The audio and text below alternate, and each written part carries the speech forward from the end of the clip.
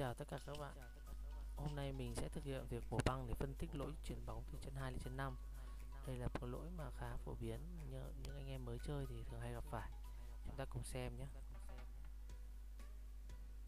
Đó. Bây giờ mình sẽ uh, quay lại này và chúng ta sẽ làm chậm.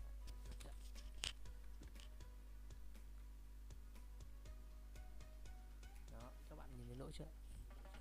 Giờ một lần nữa và mình sẽ xem.